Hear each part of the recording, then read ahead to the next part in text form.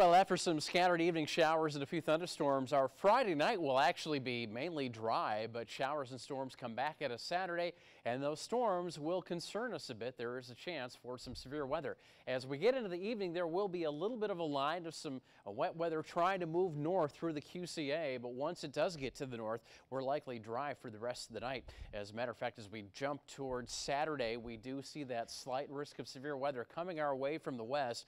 Not only hail and wind, but unfortunately some more heavy rain, possibly some tornadoes as well with the system that crosses through the area uh, later on Saturday. But even early in the day, we could be seeing some showers and thunderstorms. Friday evening, there go the showers and storms to the north, dry overnight. But watch what happens by mid to late morning on Saturday. We get another line of storms coming our way. Some of these could be strong, even severe. And then as we transition into the afternoon, yet another disturbance rolls along that line. So into the evening, storms become strong once again. Can't rule out an isolated tornado with those thunderstorms, but it will be warm and humid in the meantime. South-southwest winds on Saturday get our highs up to the low 80s, a little on the windy side. Strong thunderstorms again from the morning and then again in the afternoon and evening hours, windy and warm. And as we look at the seven-day forecast, well, we'd like to be showing it some more dry weather, but that won't be the case. Sunday, rain early, but that will wrap up. Dry Monday.